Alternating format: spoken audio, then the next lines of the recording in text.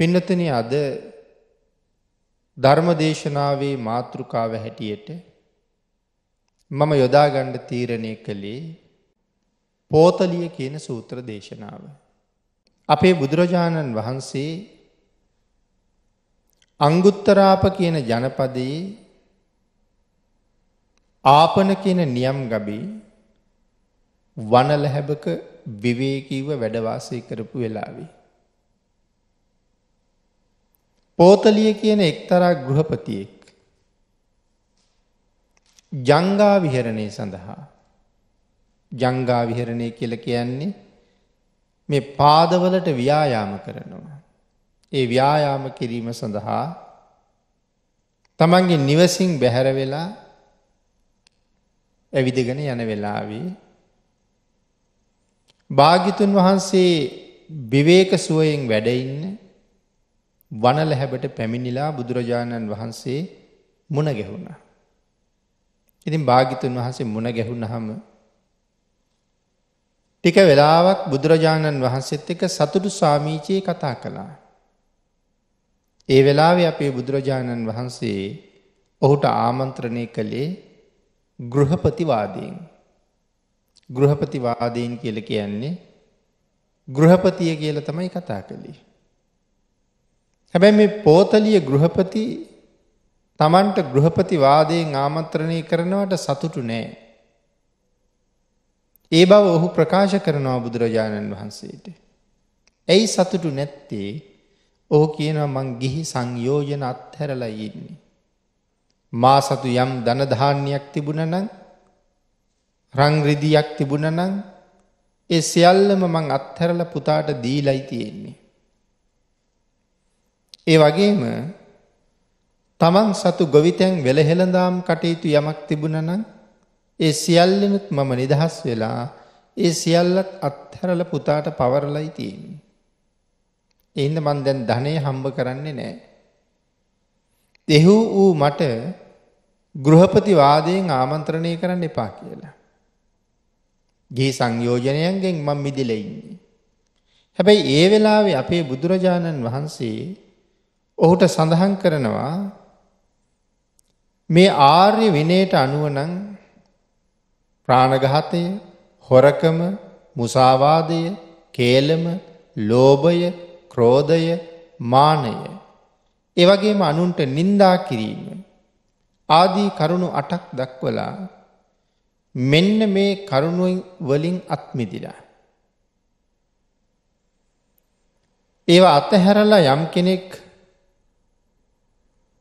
ආර්ය ශ්‍රාවක යෙක් බවට පත්තෙන්ට බලාපොරොත්තු වෙනව නං. ලෝභ දේශ මෝහ දුරු කරලා සමාපත්ති සහ ඥාන දර්ශනයට ළඟාවෙන්ඩ පුළුවන් කෙනෙක් බවට පත්තෙන් ඕන කියලා. සමාපත්ති සුවයෙන් ඥාන දර්ශනයට ළඟාවෙන්ඩ පුළුවන් වෙන්ඩුවනේ. ඇතන් ඥාන දර්ශනය වඩන්ඩුවනේ. කියල මේ කාරණාව පැහැදිලි කරලා දෙනවා. ඒක තමයි මේ සූත්‍රයේ සාරාංශය. එතකොට පෙන්ඩතින මේ සූත්‍ර දේශනාවේ තවත් විශේෂ වැදගත්කමක් තියෙනවා මේ ජම්බුද්ධීපය පිළිබඳව. අපේ ත්‍රිපිටකයේ දෙපොලක පැහැදිලි කරලා තියෙනවා. ඉතින් ඒ ජම්බුද්ධීපය පිළිබඳව ත්‍රිපිටකයේ පැහැදිලි කරපු ස්ථාන දෙකෙන් එක ස්ථානයක් තමයි මේ පෝතලිය සූත්‍රය. ජම්බුද්ධීපය පිළිබඳව විශේෂ විස්තරයක් පෝතලිය සූත්‍ර අට්ට කතාවෙන් අපේ බුදුරජාණන් වහන්සේ දේශනා කරනවා. ඉතින් මේ ජම්බුද්ධීපය කොයි වගේද. ජම්බුද්ධීපය මොනතරං ආශ්චර්යමත්ද. මිනිස්සුන්ට පින් ඇති කාලෙට මිනිස්සුන්ගේ පින් මදිකාලෙට ජම්බුද්ධීපයට මොකක්ද වෙන්නේ. මොනවිදිහේ විපර්යාසයන්ට ලක් වෙනවද. පංච මහා ගංගාවන් කොයි වගේද. මේ දහමේ සඳහන් කරන සුවිශේෂී විල් සහ පොකුණු මෙ හිමාලයේ කොයි ප්‍රදේශවලද තියෙන්නේ. මේවාගේ සුවිශේෂී විස්තරයක් මේ සූත්‍ර දේශනාවෙන් භාගිතුන් වහස ගෙන හැර දක්වනවා. ඉතින් ජම්බුද්දීපය ධර්මය තුළින් හරියටම හඳුනගත්තේ නැති නිසා වර්තමානයේ ඇතැම් පිරිස් කල්පනා කරනවා ජම්බුද්දීපය කියන්නේ ලංකාවට කියලා. ඉතින් ජම්බුද්දීපය පිළිබඳව විස්තරය දැනගත්තහම තේරෙනවා ඒවාගේ දේවල් ලංකාවේ නෑ කියලා. ඉතින් අපි ඒ පිළිබඳව කාරණාව මේ සූත්‍රයෙන් අට්ටකතාව සාකච්ඡා කරන්න එළඹෙන වෙලාවටම සාකච්ඡා කරමු. එමනම් අපි භාග්‍යතුන් වහන්සේ මේ පෝතලිය සූත්‍රය ආරම්භ කළේ කොහොමද කියන කාරණාව මුලින් සාකච්ඡා කරමු පින්නතුනි මේ සූත්‍රය ආරම්භ කරලා තියෙන්නේ මෙන්න මේ විදිහට ඒවන් මේසුතං ඒකං සමයම් භගවා. අංගුත්තරාපේසු විහෙරති. ආපනං නාම අංගුත්තරාපානං නිගමු. එක සමයක භාග්‍යතුන් වහන්සේ අංගුත්තරාප ජනපදයේ ආපන නම් නියංගමී. ආපන කියන අංගුත්තරාප නියංගමේ වැඩවාසය කරන කාලේ. අතකෝ භගවා පුඩ්බන්හ සමයන් නිවාසෙත්වා පත්ත චීවරං ආදාය ආපනං පින්ඩාය පාවිසි. භාගිතුන් වහන්සේ පෙරවරු කාලේ මනාව හැඳ පොරවගෙන පාත්‍රා සිවුරු අරගෙන මේ ආපන කියන නියම්ගමට පිඩු පිණිස වැඩම කළා. ආපනී පින්ඩාය චරිත්වා පච්චා බත්තං පින්ඩපාත පටික්කන්තු භාගිතුන් වහන්සේ පිඩිසිගාගෙන ඇවිල්ල දං වලඳලා පින්ඩ පාතය පවාරණය කලා කියල කියන්නේ පාත්‍රය වහල තියෙනවා අද දවසට ආපහු ආහාර ගන්න නෑ. ආය ආහාර වලඳනවනං පින්ඩ පාතය වඩිනවනං ඒ හෙට දවස තමයි. ඒකයි පින්ඩ පාතයේ පවාරණය කලා කියලා කියන්නේ. ඉතින් පින්ඩ පාතියෙන් වැලකිලා බුදුරජාණන් වහන්සේ ඒනං්ඥ තරු වනසණ්ඩූ තේනුප සංකමි. විවේක ගැනීම සඳහා එක්තරා වනලැහැබකට එළඹුණා. තං වනසණ්ඩන් අජ්ජෝ ගහිත්වා අඤ්‍ය තරස්මින් රුක්කමූලේ දිවාවිහාරං නිසීදී මේ වනාන්තරයට එළඹිලා එක්තරා රුක්ෂ මූලයක දවල් කාලයේ භාගිතුන් වහසේ වැඩ හිටියා. පෝතලියෝපිකෝ ගහපති සම්පන්න නිවාසන පාරුපුරනෝ චතුපාහනාහි ජංගා විහරං අනුචංකම්ම අනුචංකමනු අනු විචරමානු යේනසෝ වනසණ්ඩු තේනුප සංකමි. භාගිතුන් වහසේ විවේකීව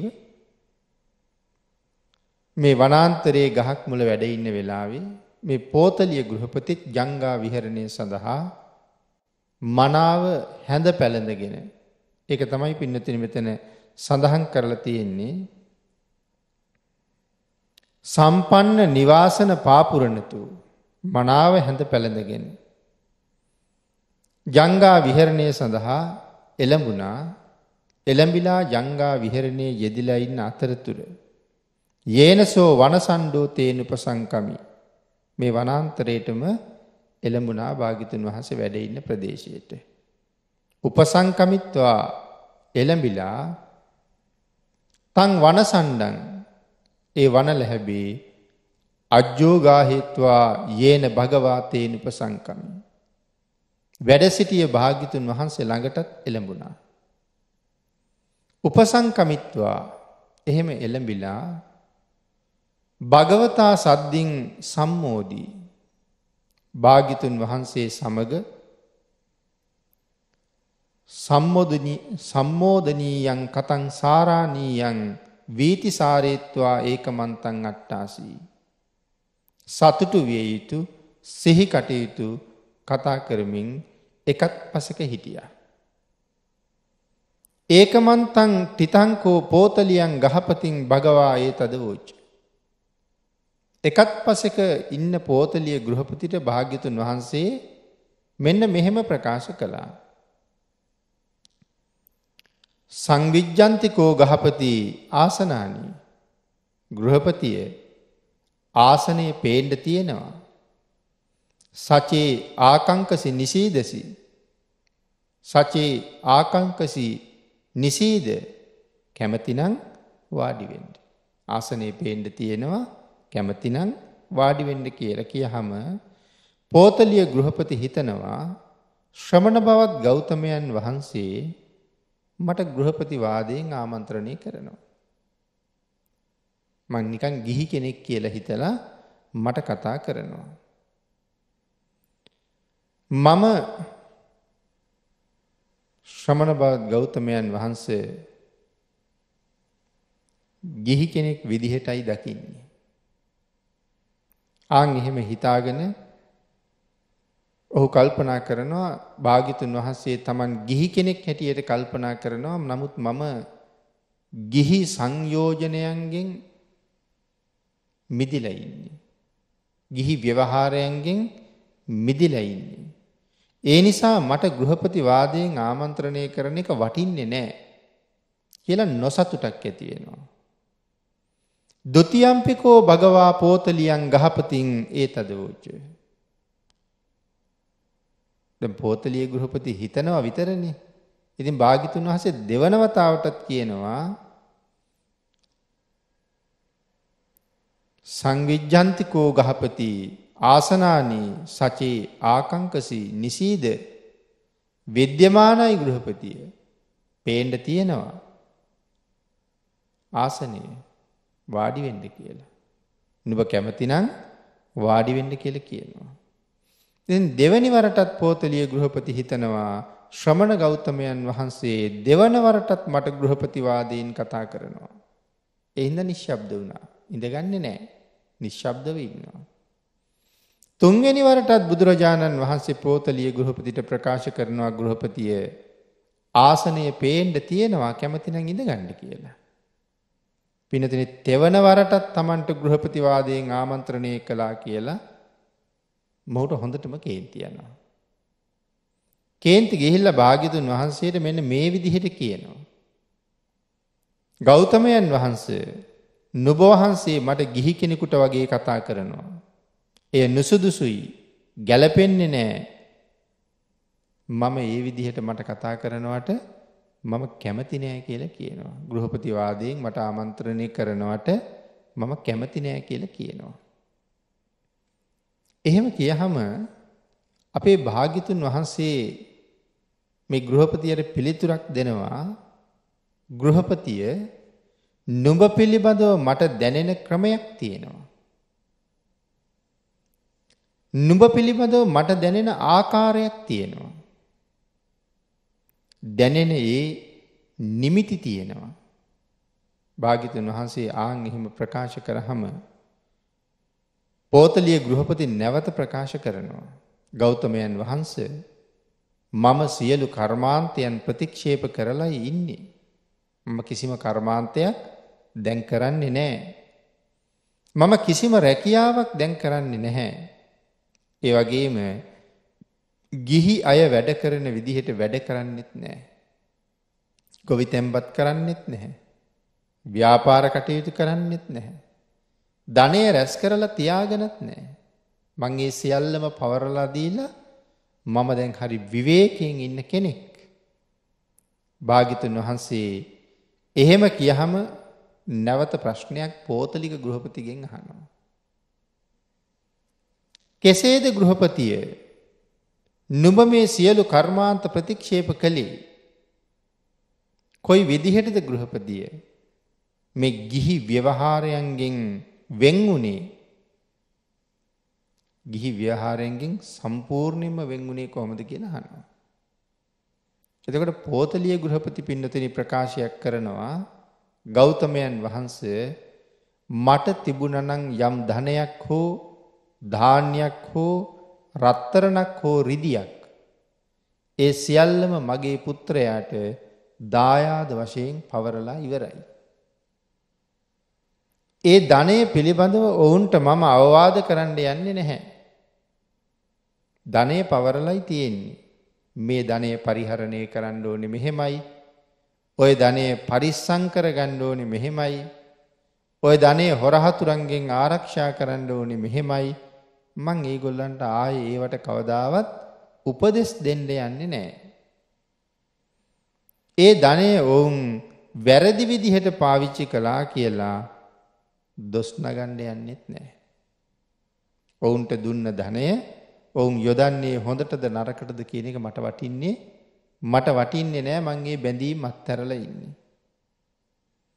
මම ආහාර ගන්නවයි ඇඳුම් අඳිනවයි විතරයි.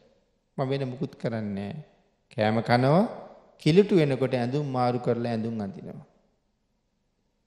කාවවත් පාලනය කරන්න යන්නේ නැහැ. ධනය පාලනය කරන්න යන්නෙත් නැහැ. සියලු ව්‍යවහාර නැති කරලයි ඉන්නේ කියලා ප්‍රකාශයක් කරාම අපේ බුදුරජාණන් වහන්සේ විශේෂ ප්‍රකාශයක් සිද්ධ කරනවා. ගෘහපතිය නුඹ විසින් වෙනස් ආකාරයකට ව්‍යවහාර සමුච්ඡේදය ප්‍රකාශ කරනවා. දැන් ගිහි ව්‍යවහාරයන්ගෙන් මිදිලා කියලා කියවන්නේ. එතකොට භාග්‍යතුන් වහන්සේ දේශනා කරනවා ගෘහපතිය මේ ව්‍යවහාර සමුච්ඡේදය කියන එක නුඹ මට වෙනස් විදිහකට ප්‍රකාශ කරනවා. ඒ කියන්නේ මේ ගිහි සංයෝජනයන්ගෙන් ගිහි ව්‍යවහාරයන්ගෙන් මිදුන කෙනෙක් කොහොමද කියන එක භාග්‍යතුන් වහන්සේ තරම් දන්න කෙනෙක් නෑ තව පින්නතුනි. ඒකයි සඳහන් කරන්නේ මම දන්න විදිහට නෙමේ නුඹ මට මේක වෙනස් විදිහකට ප්‍රකාශ කරනවා. ඉතින් එහෙම සඳහන් කරාම භාගිතුන් වහන්සේ නැවත ඔහුට සඳහන් කරනවා ගෘහපතිය ආර්ය විනයේ මේ ව්‍යවහාර සමුච්ඡේදය දක්වලා තියෙන වෙනත් ආකාරයකට. ආර්යයන්ගේ විනයේ ගිහි සංයෝජනයන්ගෙන් මිදෙන ආකාරය පෙන්වන්නේ වෙන විදිහකට. නමුත් නුඹ මට ප්‍රකාශ කරන්නේ තවත් විදිහකට. ඒ ආර්ය විනයේ තියෙන විදිහට නෙමෙයි කියලා සඳහන් කරනවා. ඊළඟට භාග්‍යතුන් වහන්සේ නැවතත් ප්‍රකාශයක් කරනවා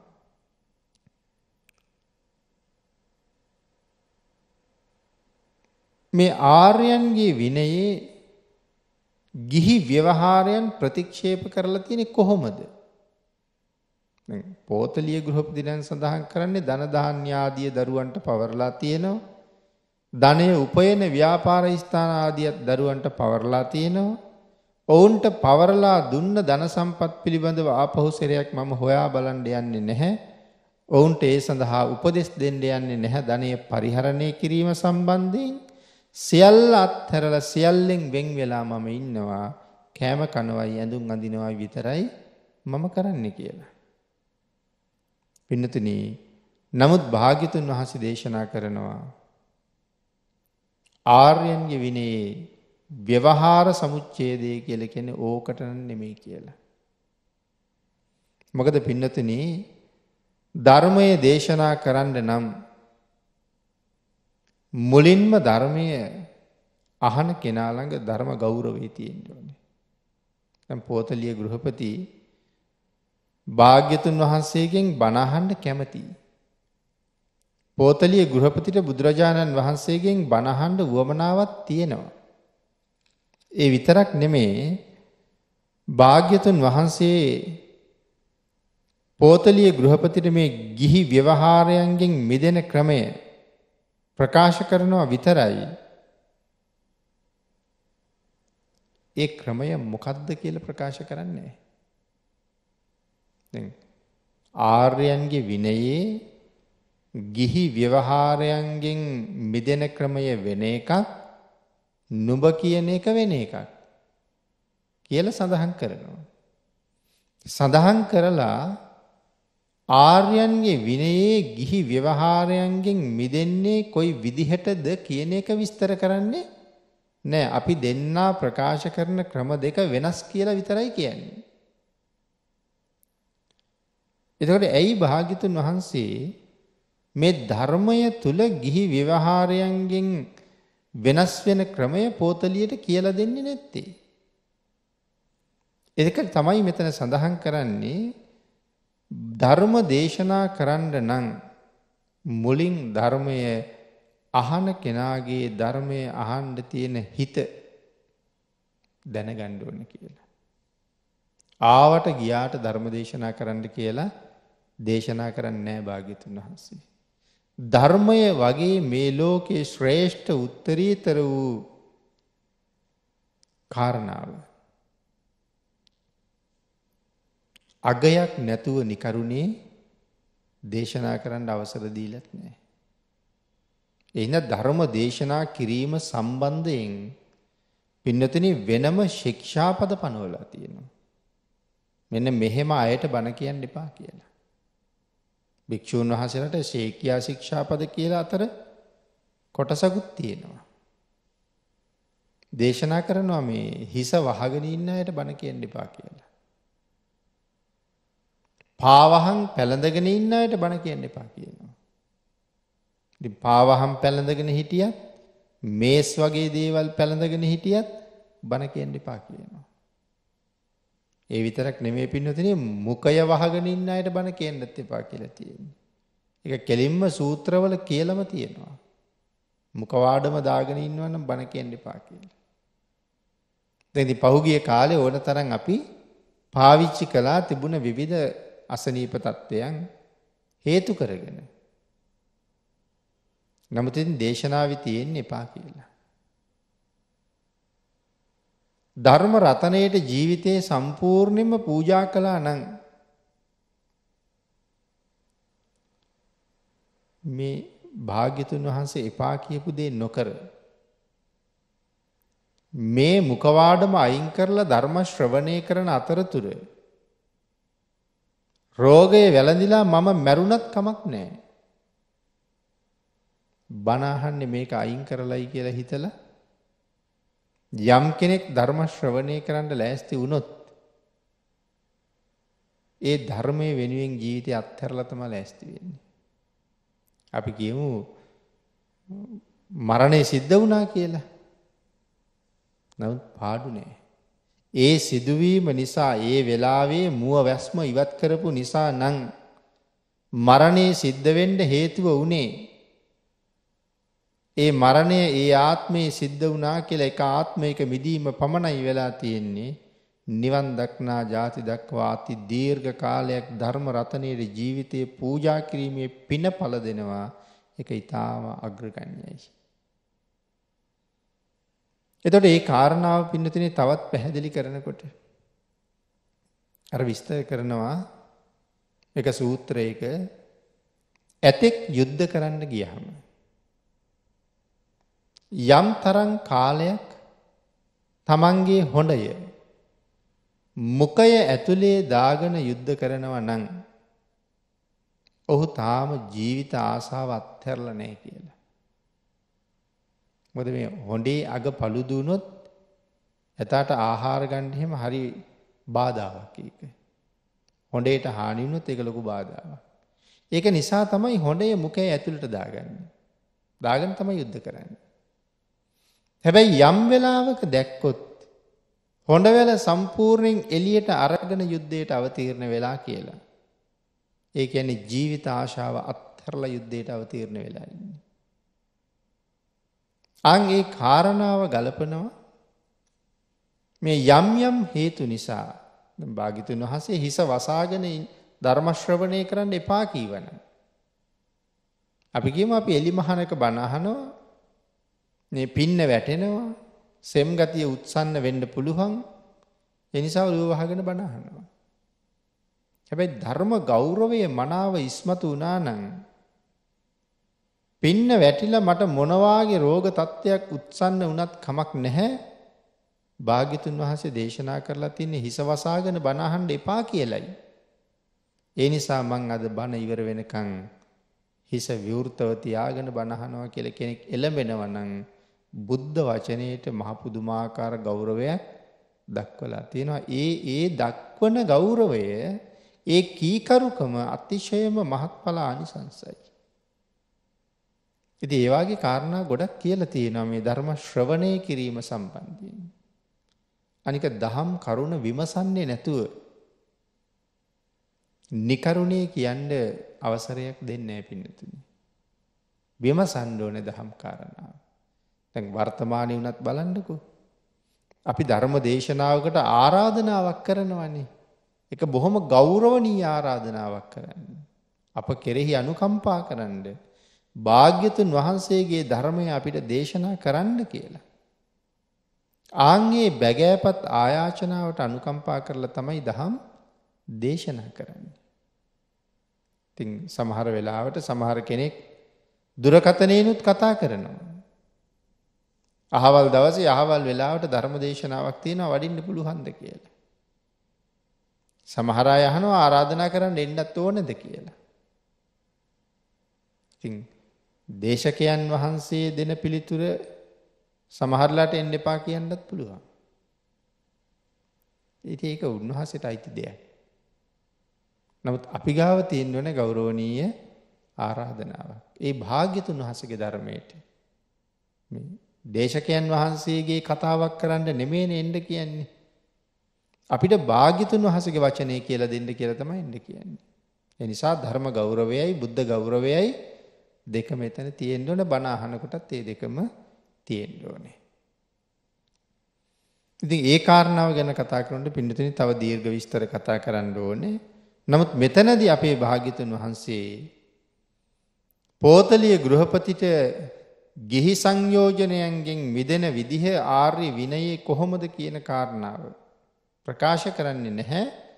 හැබැයි නුඹ හිතන විදිහට නෙමේ ආර්ය විනයේ ගිහි සංයෝජන ප්‍රහීණය කරන්න කියලා විතරක් දේශනා කරනවා.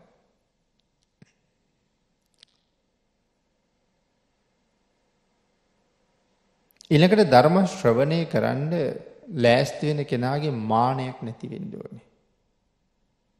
සමහර අය හිතනවා නෙවෙයි. ওই ධර්මකාරණාව මම දන්නවා. ওই දේශනාව මම කලින් අහලා තියෙනවා. එයින්ද ඔය බණ අහන්න ඕනේ නෑ. කලින් අහලා තියෙනවා වෙන්න පුළුවන්. නමුත් කරුණක් දක්වලා ඇහුවොත් මේ දේශනාවේ දේශනා කරපු මේ කරුණ දන්නවද? මේ කරුණ විස්තර කරන්න පුළුවන්ද? මේ ගැඹුරු බණපදේ නුඹට ලෙහා ගන්න පුළුවන්ද? අනික මේ දේශනාව සම්පූර්ණයෙන් නුඹට මතකද? දේශනාවේ එතනින් මෙතනින් කොටසක් ඇහෙනකොට නැත්තන් දේශනාවට මූලික වෙච්ච නිධානය ඇහෙනකොට කෙනෙක් හිතන අවකමං අහලා තියෙනවා කියලා.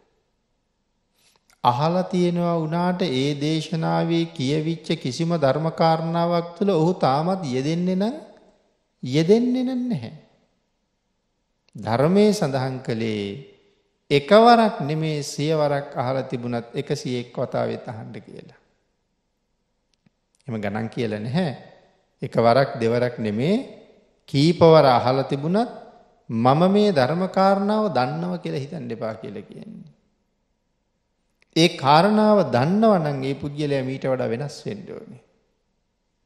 අහල විතරයි ඇහිල විතරයි තියෙන්නේ. ඉඳ දන්නවා කියලා හිතාගෙන බණහන කෙනාට ධර්මශ්‍රවණී ආනිසංසය ලැබෙන්නේ මොකද මානයක් තියෙනනේ මම දන්නවා කියන. අකුසල සිතක් පෙරටු කරගෙන තමයි යහන්නේ මානේ මානේ කියලා කියන ලොකු අකුසලයක්. ඒ වගේ කරුණුත් මෙතනදී පැහැදිලි කරනවා. නමුත් ඉතින් පෝතලිය ගෘහපති බොහොම වාසනාවන්තයි. පින් තියෙන නිසානේ ඇවිදගෙන ඇවිදගෙන බුදුරජාණන් වහන්සේ ගාවට එන්න ඇත්තේ. ඉතින් ඒ නිසා මෙන්න මේ වෙලාවේ භාග්‍යතුන් වහන්සේගෙන් මෙහෙම ඉල්ලීමක් පෝතලිය කරනවා. කෙසේද භාග්‍යතුන් වහන්ස ආර්යන්ගේ විනේ ව්‍යවහාර සමුච්චේදය වෙන්නේ.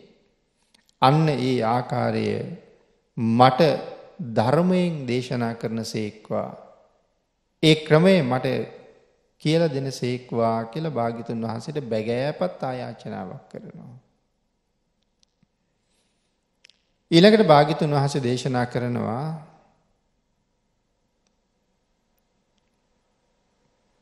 පෝතලිය මේ ආර්යන්ගේ විනේ මේ ගිහි සංයෝජන ගිහි විවහාර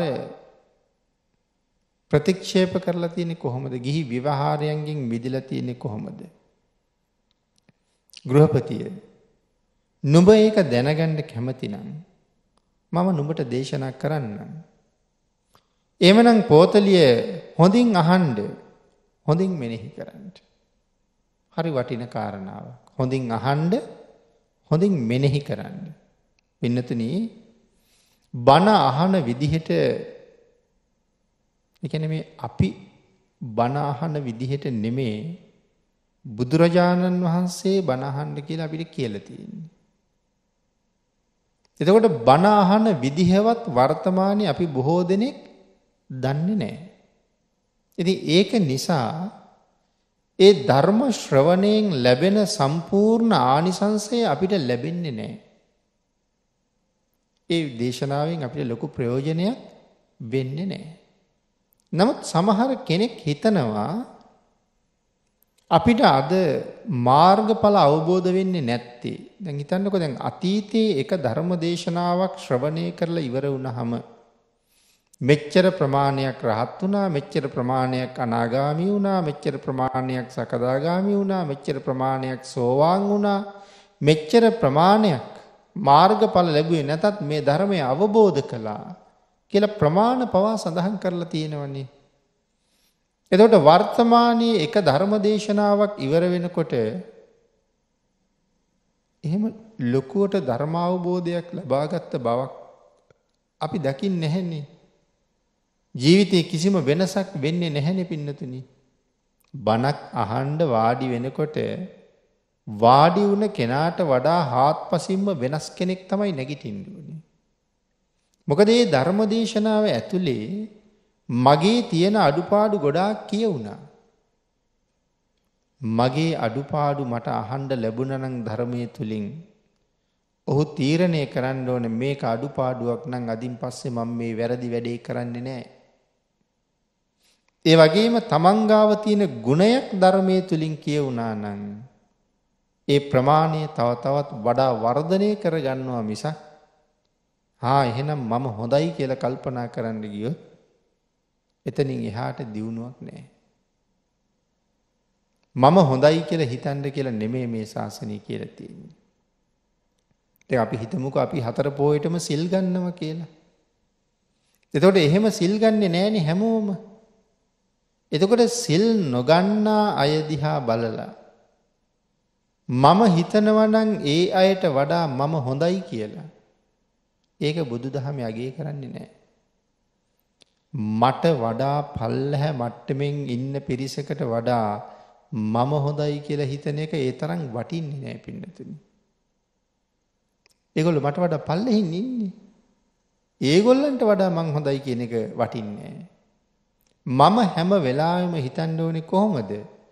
මේ ශාසනයේ ಗುಣ පුරපු මේ ශාසනයේ ಗುಣ දරන සසරින් එතර වෙන්න වීරිය වඩන සංසාරයෙන් වීරිය වඩලා එතර වුණ ඒ මහ උතුමන් වහන්සේලා එක්ක කල්පනා කරලා බලනකොට මම තාම පල්ල හැතැනකයි ඉන්නේ.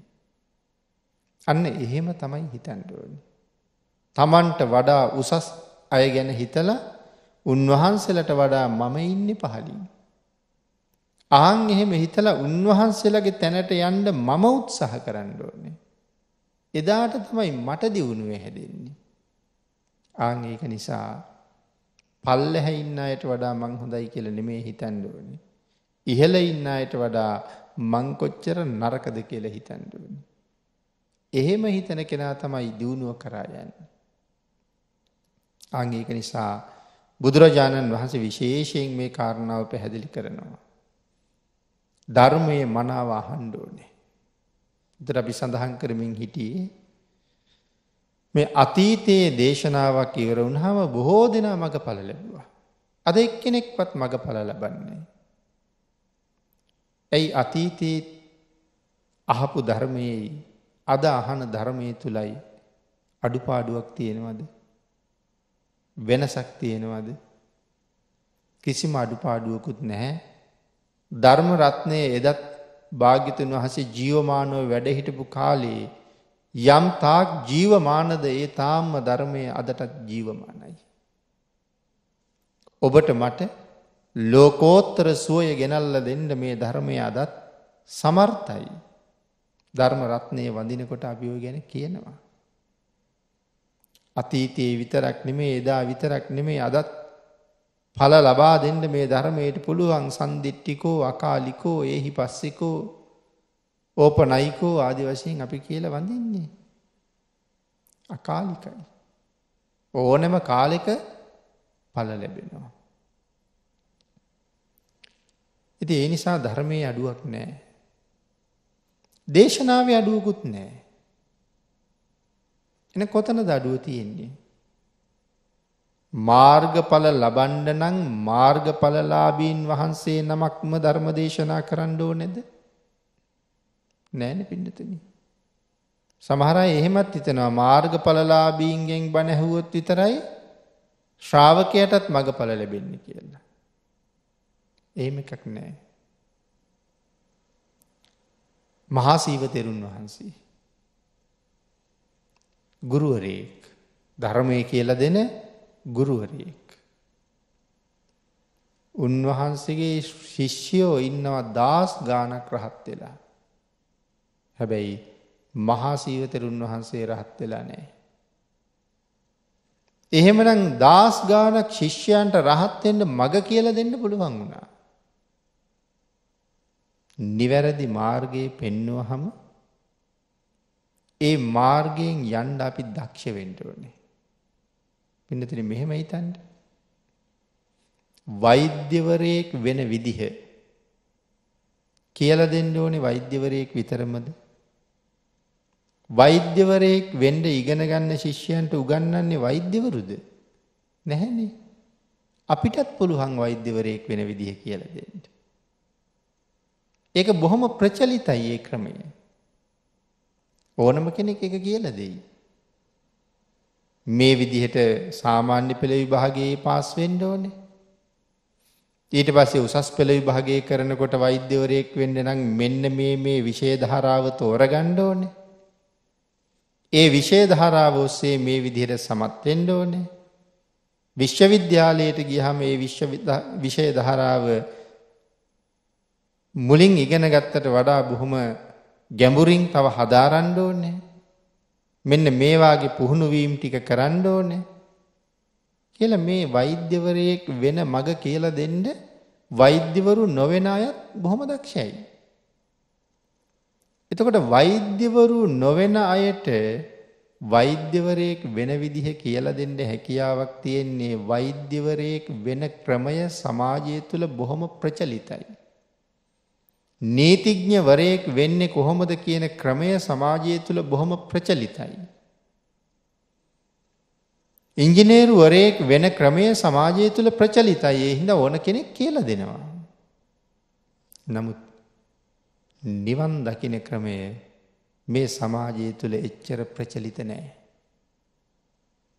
අන්න ඒක නිසා නිවන් මග හැම කෙනෙකුටම කියල දෙන්න කියල දෙන්න බැහැ. භාග්‍යතුන් වහන්සේගේ ධර්මය මනාව දැනගෙන ඉගෙනගෙන අට්ටකතාවත් පරිහරණය කරගෙන භාග්‍යතුන් වහන්සේ දේශනා කරපු විදිහට ධර්ම දේශනා කරන උතුමන් වහන්සේලා ඉන්නවා. නිවැරදි නිවන් මග උන්වහන්සේලා දේශනා කරනවා. නිවැරදි මග දේශනා කරනවා වනත් ඒකෙන් ඵල ලබන බව දකින්න බොහොම අඩුයි. වෛද්‍යවරයෙක් වෙන විදිහ කියලා දුන්නහම වෛද්‍යවරයෙක් වෙන්න බලාපොරොත්තු වෙන කෙනා ඒ වෙනුවෙන් මහන්සි වෙනවා. නිවන් දකින විදිහ කියලා දුන්නහම නිවන් දැකීම උදෙසා මහන්සි වෙන අය කීයෙන් කී දෙනා දින්නේ. අන්න ඒකනේ අඩුව තියෙන්නේ. අහගෙන ඉඳලා යනවා මිසක් ක්‍රියාත්මක කරන්නේ ජීවිතය තුළ. ප්‍රත්‍යක්ෂ කරගන්නේ ඒක ජීවිතයට. ඉතින් ඒ තාක්කල් අපි සංසාරයෙන් මිදෙන්නේ නැහැ. ඉතින් මේක තවත් විශේෂ කරුණු දක්වලා ගිලාන සූත්‍රයෙන්ුත් භාග්‍යතුන් වහන්සේ කරුණු පැහැදිලි කරලා තියෙනවා. කවුරු වෙනුවෙන්ද බණ කියන්න ඕනේ කියලා. ඒ නිසා භාග්‍යතුන් වහන්සේ දේශනා කරන්නේ මේ ධර්මය හොඳින් අහන්න ගෘහපතිය මම කියන්නම් හොඳින් අහන්න. ඒ වගේම මෙනෙහි කරන්න. එතකොට බුදුරජාණන් වහන්සේ කොහොමද එහෙනම් අපිට බණ අහන්න කියලා තියෙන්නේ පින්නතුනි? මෙතන මෙනෙහි කරනවා කියලා කියන්නේ අපට පුළුවන් වෙන්න ඕනේ පින්නතුනි කරුණු එකින් එක වෙන වෙනම මතක තියාගන්න. කරුණු එකින් එක වෙන වෙනම මතක තියාගන්න කියලා කිව්වේ. හරියට නිකන් ධර්ම දේශනාවක් අහනකොට ඒ දේශනාව සම්බන්ධයෙන්ම හිත යොමු කරගෙන මනාව අහගෙන ඉන්න කෙනෙකුට මේක බොහොම පැහැදිලිව වැටහෙනවා නිකන් අර වගුවක් තුල සඳහන් කළා වගේ. ඒ බාහිරට හිත ගමන් කරන්න නැහැනේ. එක දිගට දේශනාව අහගෙන ඉන්නවා කිසිම බාහිර සම්බන්ධයක් තියාගන්නේ නැහැ. අන්න එතකොට තමයි වැටහෙන්නේ මේ දේශනා කළේ මොන කරුණද? එකින් එක අවබෝධ කරන්න කියලා කිව්වේ ඒකයි. මේ දේශනා කළේ විනය කරුණක්. මේ දේශනා කළේ අභිධර්මයේ සඳහන් වෙන කාරණාවක්. මේ දේශනා කරපු කාරණාවේ අනුබෙදීම් තියෙනවා. ප්‍රධාන කාරණාවේ අනුබෙදීම් තියෙනවා. මේ තියෙන්නේ ඒ කාරණාවේ අනුබෙදීම් ටික. මෙන්න මේ විදිහට ඒ දේශනාව හාත්පස කොටස් කරගන්න Tamanට පුළුවන්කම තියෙන්න ඕනේ. එහෙම පුළුවන්කමක් ඇති වෙනවා දේශනාව මනාව අහලා මතක තියාගන්නකොට. සෝතානුදත සූත්‍රයේ බුදුරජාණන් වහන්සේ දේශනා කළා කොහොමද ධර්මය ඉගෙන ගන්න ඕනි කියලා. සුතා හොඳට අහන්න ඕනේ මුලින්ම. දතා අහන ධර්මය හොඳින් මතක තියාගන්න. වචසා පරිචිතා වචනයක් වචනයක් ගානේ සවන් දෙන්න ඕනේ. එක වචනයක්වත් අත්තරින් නැතුව අහන්න ඕනේ. මනසානුපෙක්කිතා තමන්ගේ භාෂාවෙන් පුළුවන් හැටියට ඒ ධර්මය විස්තර කරගන්න තමන්ට පුළුවන් වෙන්න ඕනේ. මෙන්න මේ විදිහට භාග්‍යතුන් වහන්සේ බණහන විදිහක් දේශනා කරනවා අවසානි දිට්ඨියා සුප්පටි විද්දා. කියලා කාරණා කීපයක් පැහැදිලි කරනවා අන්න ඒ ක්‍රමයට අනුව බණහන්න කියලා.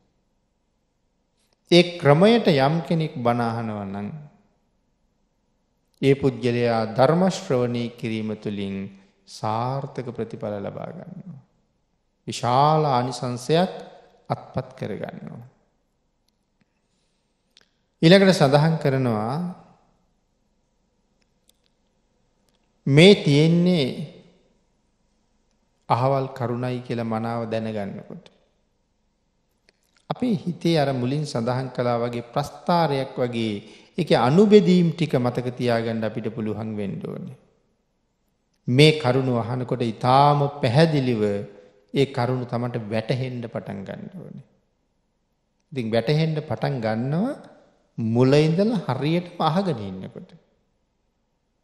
එතකොට වැටහෙන්නේ නැහැ කියලා ප්‍රශ්නයක් ඇති වෙන්නේ නැහැ. ඒ අහලා මතක තියාගන්නත් ඕනේ ආන්ගේ අහපු දේ නැවත නැවත මෙනෙහි කරමින් මහන්න ඕනේ.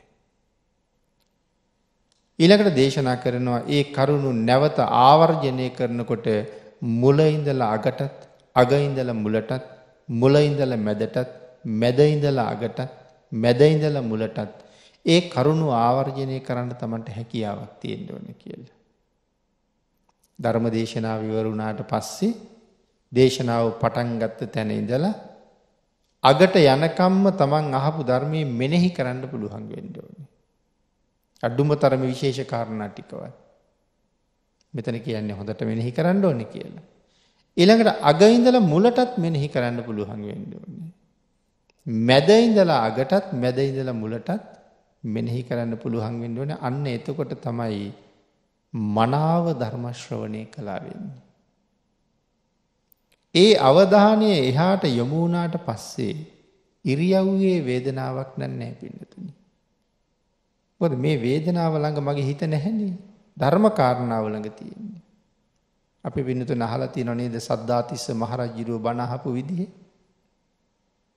කාල බුද්ධ රක්කිත මහරහතන් වහන්සේ කළුදිය පොකුණ ළඟ ධර්ම දේශනාව ආරම්භ කරනකොට කාලකාරාම සූත්‍රය රජුරුව ඇවිල්ලා හිට ගන්නවා. රජුරුව ඉල්ල පිටගන්නේ හරියටම ධර්මාසනයට පිටිපස්සේ. රජුරුව මිනිස්සු ඉන්න පැත්තට යන්නේ නෑ. ඇයි මිනිස්සු රජ්ජුරුව එනවා දැකලා බණහන සිත වෙනස් කරගනී. ධර්ම දේශනාව පහුවදා උදේට එලිවුණ හම නිමා කරනකොට රජ්ජුරුව ධර්මාසනී පිටිපස්සිඳල උගුරපාදනවා. රහතන් වහන්සේ අහනවා මහරජ කොයි වෙලාවි දාව කියලා. ස්වාමීනී ධර්ම දේශනාව පටන් ගන්න කොට යාවි. මහරජ රාත්‍රයේ එලිවෙන කම්ම හිටගෙනද බණ ඇහුවේ. ස්වාමීනී ධර්මාසනයේ පිටිපස්සේ ඇවිල්ල මං හිටගෙන මගේ පාද දෙක යම් තැනක පිහිටෙව්වද. මං කකුල වෙනස් කළේ දේශනාව නිමා කලාට පස්සෙ කියල කියන්නේ. එකන එක දිගට එල්ළඹ සිටි සිහියෙන් ධර්මය පිළිබඳවම හිත යොමු කරලා ධර්මශ්‍රවනය කරනවා. එතවට අර ඉරියව්වේ වේදනාවල් ඒ කිසි දෙයක් සිහියට එන්නේ නෑමොකද දේශනාවත් එක්ක ඉහිත ගමන් කරනවානේ. ඉදේ විදිහට තමයි ශ්‍රද්ධාවන්තයෝ බනහලතිය. ඒ නිසා පල නෙළුව හරියට. අද කොච්චර ඇහුවත් පල නෙලන්නේ. මේ තරන් නිර්මල ශ්‍රේෂ්ඨ උත්තරීතර වූ දහමක් දේශනා කරපු තවත් ශාස්තෘුවරයෙක් කොහෙද පින්නතුනි. නමුත් ලංකාව කියල කියන්නේ ධර්මද්දීපය කියලන අපි කියන්නේ. නමුත් ධර්මද්දීපයේ මිනිස්සුන්ගේ හැසිරීම දිහා බලන්ට. මිනිස් ජීවිත විනාස කරන්නේ සත්තුන්ගේ ජීවිත නැති කරන වගේ. හොරකං කිරීම මංකොල්ල කෑම දූෂණ භීෂණ වංචා අපරාධ මේ තරං දහමක් ඇහෙන රටක එහෙම පිරිසක් ඉන්ඩ පුළුහන්ද බණ ඇහුවනන්. එන ඇහුන මිසක් අහලනෑ. නමුත් ධර්මය නැති වෙනත් රටවල් දිහා බලන්ඩ. ඒ රටවල්වලට ආවේනික වෙච්ච ප්‍රතිපත්තිවලට කොච්චර ගරු කරනවද කියලා. මිනිස්සු පිළිබඳව කාරුණික හැඟීම කොච්චරද කියලා. මිනිස්සු ගැන හිතල වැඩ කරන හැටි කොහොමද කියලා. හොර මැරකමක් කල් කලාතුරකින්වත් අහන්ඩ ලැබෙන්නේ සමහර දියුණු රටක. මනුස්සෙක් පාරක වැටිල ඉන්නවා දැක්කත් තමන්ගේ සියලු කටයුතු පැත්තක දාලා ඒ මනුස්සයා වෙනුවෙන් අනුකම්පාවෙන් නැති කරනවා. අපි එහෙම කරන්න අපි පින්තූරාරගෙන බලාගෙන ඉන්නවා. ඉතින් ඒ වගේ කාරණා ඕන තරන් කතා කරන්න තියෙනවා. ඒ මිනිස්සුන්ට දහමත් ලැබුණනන් ඒ මිනිසු කොහොම වෙයිද. මිනිස්සු කියල කියන උසස් ජාතිය. අන්ගේ මනුෂ්‍යත්වය උසස් බව ඔවුන් තුළ ඉතාම ඉහලින් තියෙනවා. ඒ මනුෂ්‍යත්වයේ උසස් බවට අලුතෙන් එකතු කර මනා වූ ඔපමට්ටමක් ධර්මය තුළින් කරනවා. එක වැඩි දියුණු කිරීමක් කරනවා. නමුත් විසි හතර පෑම බණැහුවත් එක වැඩි දියුණු බච්ච බවක් අපෙන් දකිින්ඩ අපෙන් දකිින්ට නෑ කියල කෙනෙ ධර්මය තිබුණට අපි ධර්මය මනාව ශ්‍රවණය කරලා ජීවිතයට බද්ධ කරගෙන නෑ. අපි බුදුරජාණන් වහන්සේ හොඳින් අහගෙන ඉන්න ඕනේ මම දේශනා කරන්නම් හොඳින් අහන්ඩ ඕනේ. මේ තියෙන්නේ පින්නතුනි බනාහන අයට භාගිතුන් වහන්සේ ලබල දෙන ඉතා හොඳ උසස් ගනී උපදේශයක්. තේනෙහි ගහපති සුනාහි එසේනං ගෘහපතිය හොඳින් අහන්ඩ සාදුකං මනසි කරෝහි බාසිස්සාමීති හොඳින් මෙනෙහි කරන්ඩ දේශනා කරන්නම් කියල භාගිතුන් වහන්සේ පෝතලිය ගෘහපතිට ප්‍රකාශ කරනවා. පෝතලී ගෘහපති භාගිතුන් වහන්සේට පිළිතුරු දෙනවයින් පසුව ස්වාමීණී දේශනා කරන්නට. මං හොඳින් අහන්නම් කියලා.